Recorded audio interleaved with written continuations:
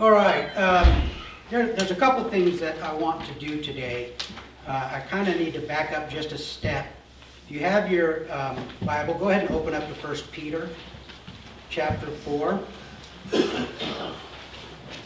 Now, last week I gave you guys a challenge. Uh, I challenged you to read the gift passages in their context. I'm hoping that you've done that.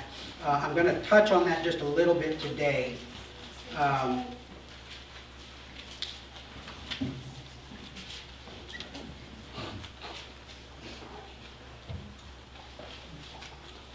the charismatic movement in this country has has uh,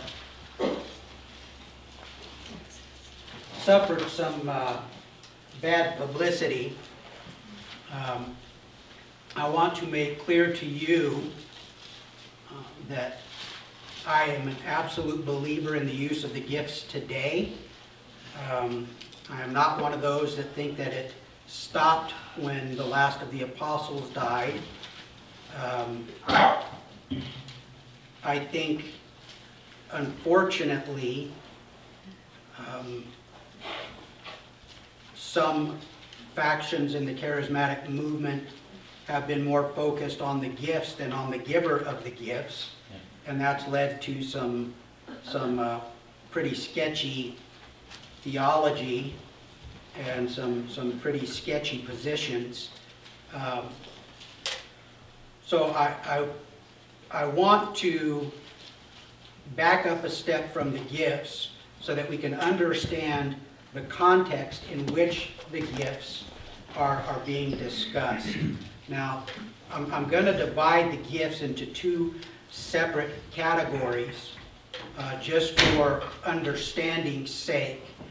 Um, I believe that there are two distinctly different types of gift. And even though the same word might be used uh, in, in uh, both types, um, I, I think there's a significant difference between them. Now that you've all gotten to 1 Peter, I need you to back up to uh, Ephesians 4. Keep your finger on 1 Peter, okay, because we're going to come to that shortly. Um, Ephesians chapter 4. I just, hopefully you guys have already done this, um, reading this passage in context. Um, so down in verse 10, I'm sorry, verse 11, um, speaking of the Lord Jesus, it says, And he gave the apostles, the prophets, the evangelists, the shepherds, and the teachers. Um, I believe, and I shared this with you last week, I believe these are positional gifts within the body of Christ. I think a healthy body of Christ should have some men of each group in here. Now let me qualify that by saying, hey chunk,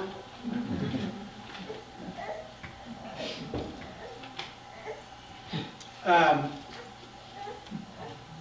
some people believe that uh, the apostles ceased uh, the, the office of apostle ceased when John uh, passed away. He was the last of the original 12. Um, some people say that uh, the office of, of apostle and, and even a lot of the gifts ceased to exist after the fulfillment of all of Scripture was completed. Uh, I don't believe this. Uh, I don't believe that we have apostles. Uh, if you look through Scripture, there are three times, three different scenarios in which the word apostle is used. We know from looking into the word, it, it means someone that is sent, a message bearer. Um, but we see that Jesus is called an apostle, and I don't believe any of the 12 who were also called out from the disciples to be apostles were apostles in the same way that Jesus was. Uh, I think the 12 had a particular purpose uh, that Jesus had just for them to accomplish. Uh, and that happened in their ministry while he was here on earth, and even more so uh, when he ascended to heaven, except for Judas, who also served his purpose. Um,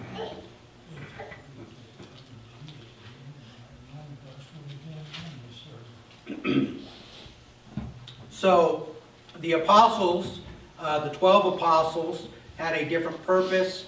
um, a, a different calling, but uh, that one of the qualifications, if you look in Acts, um, you see as they're selecting an apostle to replace Judas, uh, they have certain qualifications, one of which was that they had to have been under the ministry of Jesus the entire time, uh, and two candidates were brought forth. Um,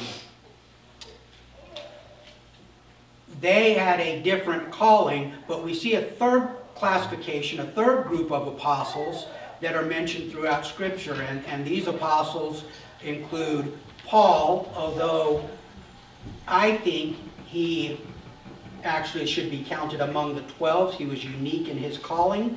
I think that's what he is talking about in Galatians chapter 1 when he gives his um, his resume to the churches in Galatia. Uh, I think he was saying that, that uh, God had anointed him because one of the qualifications was being under the ministry of Jesus. He's, he had Jesus appear to him and call him to be an apostle. Uh, now, we have others, uh, Barnabas, Timothy, uh, James, the brother of Jesus, all of them, not James, the, the disciple slash apostle, James, the brother of Jesus, who is also called an apostle. So I believe that there's three different groups. I believe that in some manner, apostles are, are still being used today. They are being called, they're being anointed. We don't call them that. Okay? Um,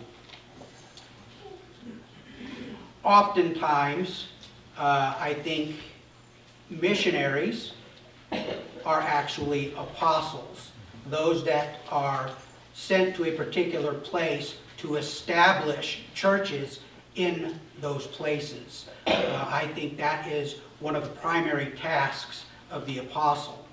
Uh, and then, then there's the prophets, uh, those who speak as the voice of God to the people, um, both interpreting Scripture and being the, the mouth of God to a particular place and a particular time.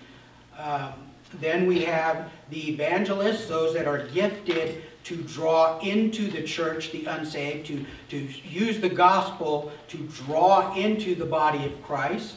Uh, we see a lot of men that are gifted with evangelism today. Probably one of the greatest that, that we are aware of was Billy Graham. Uh, but there are numerous men out there who are fulfilling the role of an evangelist. Uh, and then shepherds and teachers. Now, I, I'm approaching this as two different offices. The reason that I do that is because they are referred to in a couple of the other passages, but here um, it almost reads as though they're one gift.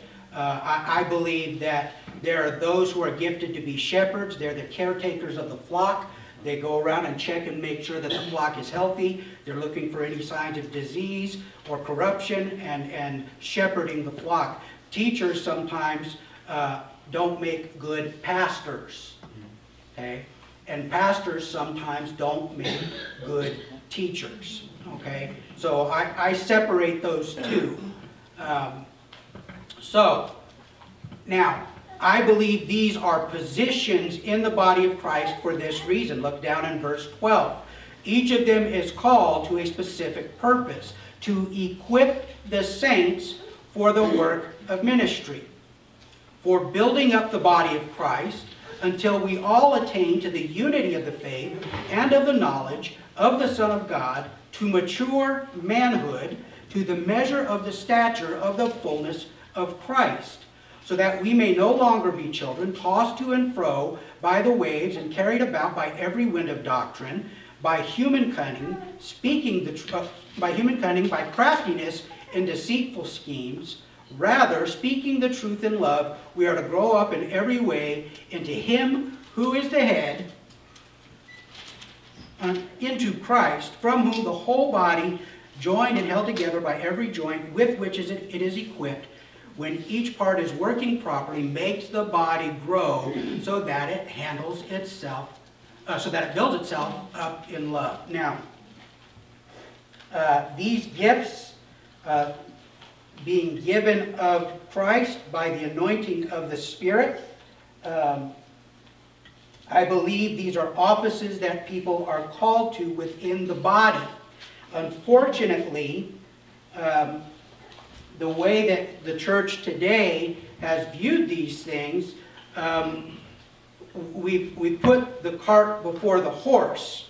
And we have said, instead of them training and instructing and building us up so that we might work, uh, we have just given them the work because they have the position. And this is backwards. How many churches do you know that has a particular person or a particularly small group of people that do the work of ministry? That's wrong. They are to prepare us to do the work of ministry. They are called to teach and instruct and build us up in the faith so that we then can be a functioning and effective part of the body of Christ. Okay? Because if you are in the body of Christ, don't be an appendix. Okay? Okay? Now, I've got a little bit different view of an appendix than you guys do. Yeah. Okay? Um, what purpose does an appendix serve? We have no clue. We have no clue. But when it goes foul, it causes major disruption in the rest of the body. Okay? Um, I had uh, acute appendicitis. I know Dennis has had uh, appendicitis as well. Um, it was not fun.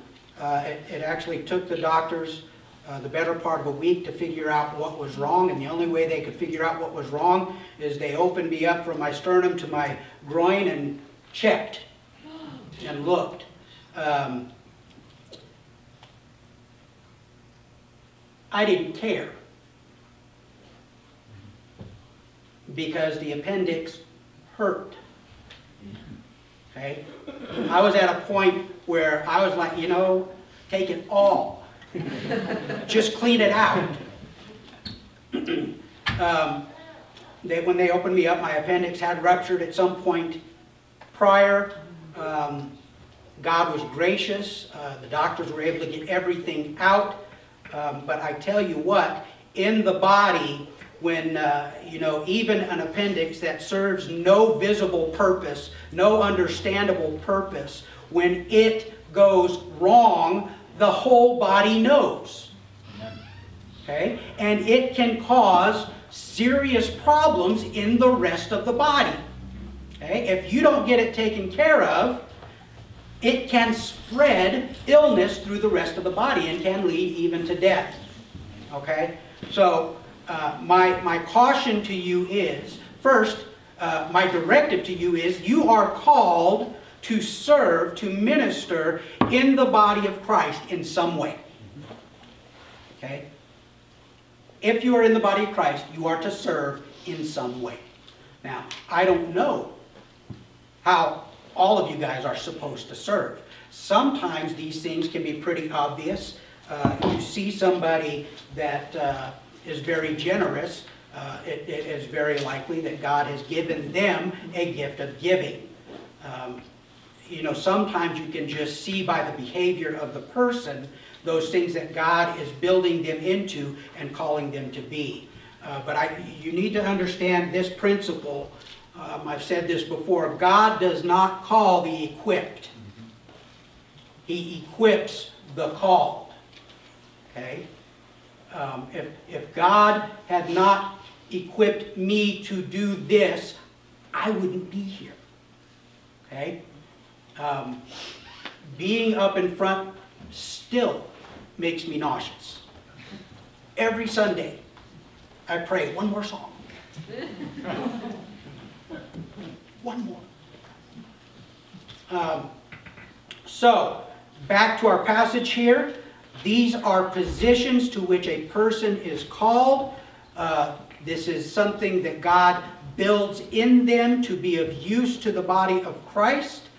Uh, and, and it is to equip the rest of us, because um, I've been in the seat that you're in, to be able to grow in our faith and our knowledge of God, to maturity, so that we might uh, measure to the stature of the fullness of Christ, so that we would no longer be children.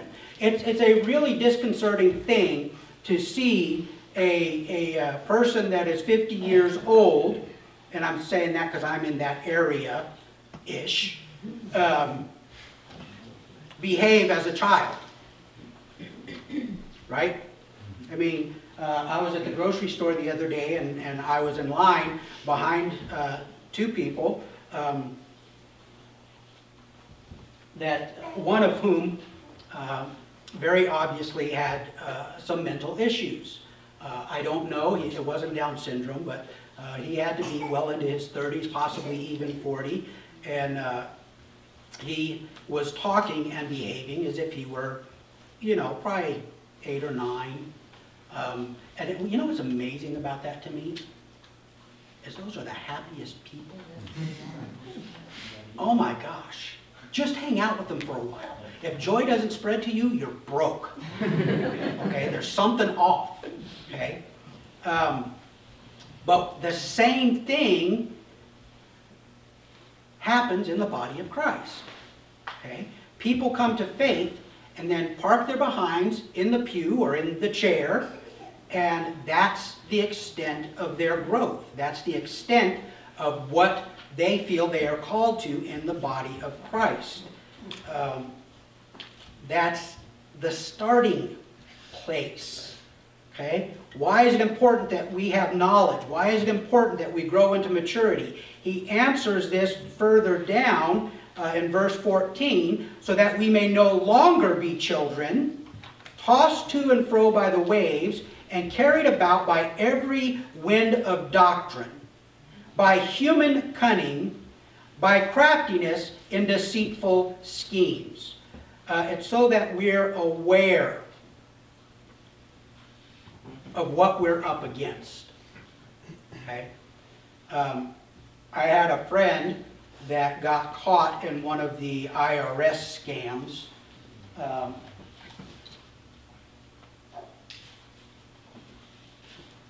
he got a call from a person telling him that uh, he was he had failed to pay his full amount on his taxes and that uh, if he didn't work out a deal with them on that phone call that uh, they were going to call the police and have him arrested they transferred him to another person who said he was a police officer and that he was going to come and arrest this person if he didn't make a deal with the first person. And, and so uh, being panicked, not knowing a whole lot about what was going on with much of anything, um, after talking to the police officer, he said, okay, what do I need to do? Well, you need to go get some money cards and give them to me so that we can just pay this off. Um, now, he got soaked for several hundred dollars um, before somebody, and, and, it was actually uh, a person at the counter that he was buying the cards from. Notice he was buying all of these cards, and she was aware of this scam and was able to tell him, hey, wait, stop. You need to call the sheriff's office and find out what's going on. Uh, thankfully, it didn't take, cost him a whole lot more than it did, but uh, it, it, did cost him several hundred dollars. And I guarantee you that that lesson stuck. Okay?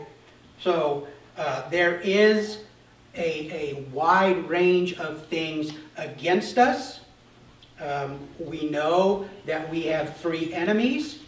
Uh, we know that there is the prince of the power of the air, the prince of this world, uh, who is opposed to us and has a demonic host that, that works at his directive to tear us down, to keep us in ignorance, uh, to distract us. We know that the world system itself is also set in opposition to us. And we know that that part of us, that stinking, rotten part of us that died at salvation, still likes to interject. Okay? So we know there are enemies out there whose sole purpose is to ruin us. The thief comes to steal, to kill, and to destroy.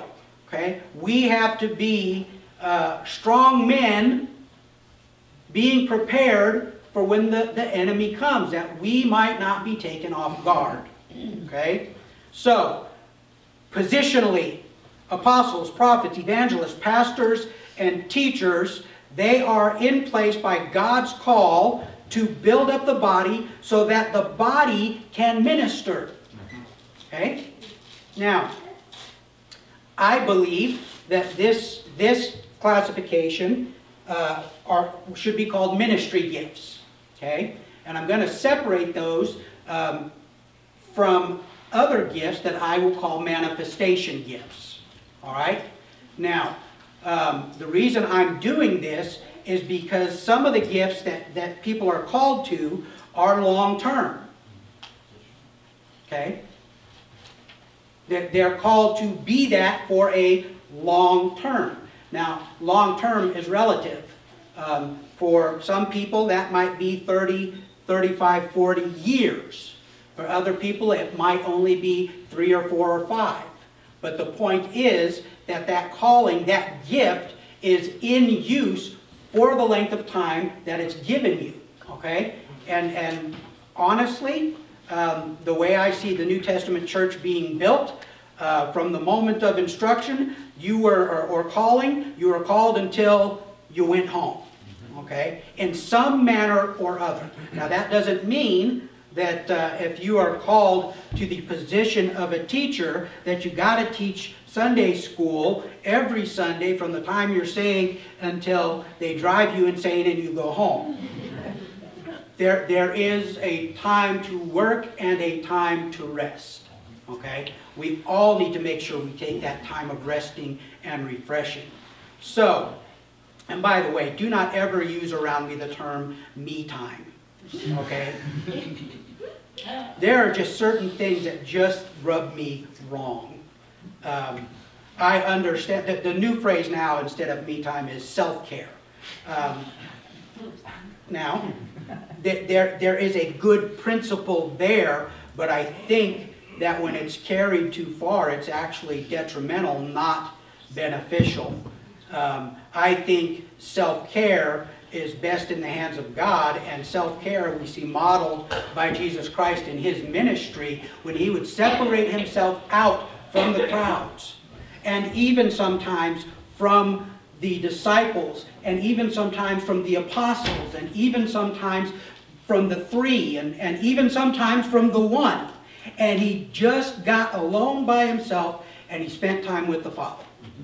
Okay? And that was his refreshing that was his re-energizing that was that was how he was being a, built up to be able to go further and do what needed to be done so you know self-care yeah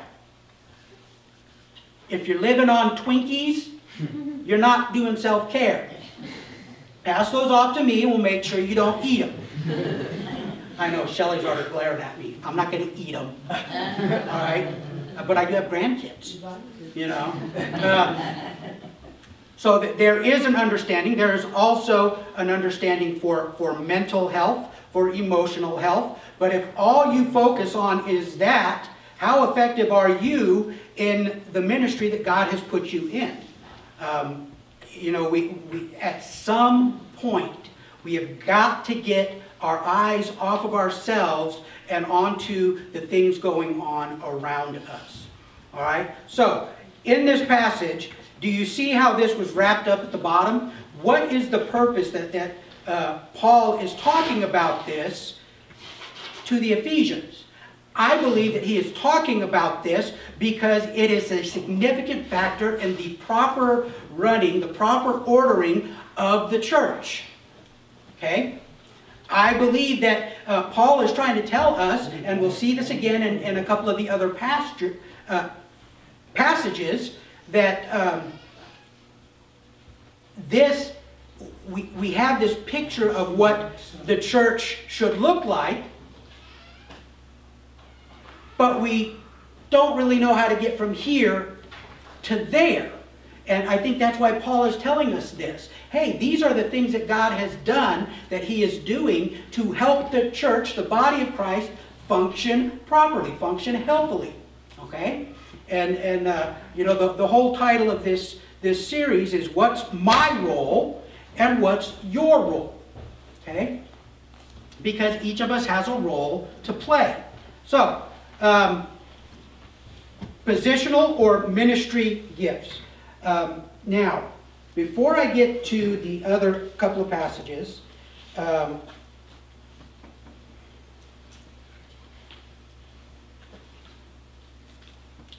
see, I'm having a dilemma here because I want to talk about the gifts, but we have to understand how the gifts operate and how they are supposed to operate. So I'm going to um, flip over with me, if you would, to Romans 12. Uh, keep, keep, actually, let's do 1 Peter. I'll, I'll touch that and then we'll come back to Romans. 1 Peter 4.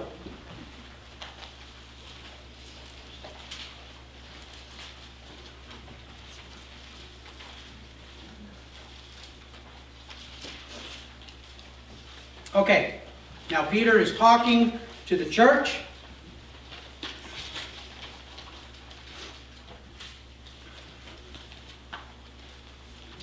Um, I'm going to pick up in verse 7. Paul is speaking, uh, not Paul, Peter. If I keep saying Paul, just refer to the book you're in. Um, verse 7 The end of all things is at hand. Therefore, be self controlled and sober minded for the sake of your prayers. Now, that's an interesting little thing that he puts in there because Paul, uh, uh, Paul, Peter also says that there's another thing that can hinder your prayers, specifically husbands. If you do not treat your wives well, it will hinder your prayers. Okay? But here he says, be self controlled and sober minded for the sake of your prayers. Above all, keep loving one another earnestly, since love covers a multitude of sins. Show hospitality to one another without grumbling. As each has received a gift, use it to serve one another as good stewards of God's varied grace. Whoever speaks, as one who speaks oracles of God, whoever serves, as one who serves by the strength that God supplies in order that in everything God may be glorified through Jesus Christ. To him belong glory and dominion forever and ever. Amen. And, and then he goes right back into where he started earlier about uh, uh, the things that are happening. He says, Beloved, do not be surprised at the fiery trial when it comes upon you to test you, as though something strange were happening to you. But rejoice insofar as you share Christ's suffering, that you may also rejoice and be glad when his glory is revealed. So you see right in the middle of this Christian life talk that he's giving, uh, the, the, the end is coming. Be aware, be sharp of mind, uh, minister to one another. He breaks it down into two categories, and if you look at the other passages, we're going to see that all of the gifts fall into one or the other of these past these two categories. Okay, there are those that speak and there are those that do. Okay, so what I find significant in this is that the whole purpose of this, the gifting, is for what? Look in verse uh, 11. It says, Whoever speaks as one who speaks oracles of God. Uh, everybody know what an oracle is? Message? I'm sorry? A message? Yes. Yeah, the Word of God. Okay? Um, I just lost my place. 11. Uh, the oracles of God, whoever serves as one who serves by the strength that God supplies. Why? In order that in everything God may be glorified. Okay? See, that's, that's our job. That's the ultimate of what we're called to, to glorify God. Every single one of the gifts given is in some way or another to bring glory to God.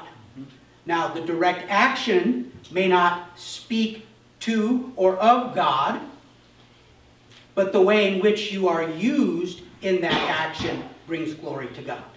Okay? So, um, just touching on that real quick, because it doesn't specify the particular gifts, um, other than to separate the, the speaking gifts and the serving gifts, the, the, the, the speaking and the doing, okay? Uh, and if you remember, back a few weeks ago, we talked about the two particular callings that were given, uh, the elders and the deacons, and while the qualifications are exactly the same, they're, the elders are called to speak, and the deacons are called to do. Okay? Now, that doesn't mean that if you're a deacon, you aren't necessarily called to one of the positional gifts.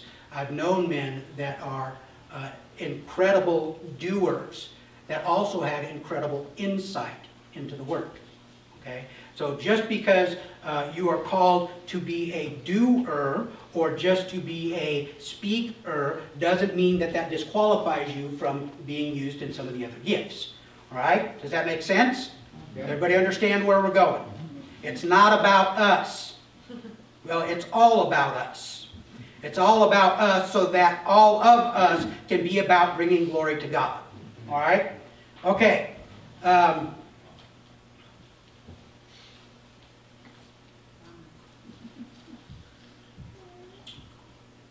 I'm, I'm, I'm actually going to stop there for today.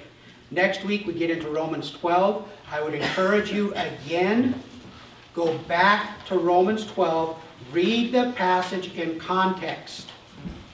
Okay? Why is Paul even speaking, and it is Paul this time, not Peter, um, why is he even addressing the issue of gifts? Okay? Nothing is in here without a purpose. Okay? There is nothing in here that's on accident. Okay? So take it, read it in context.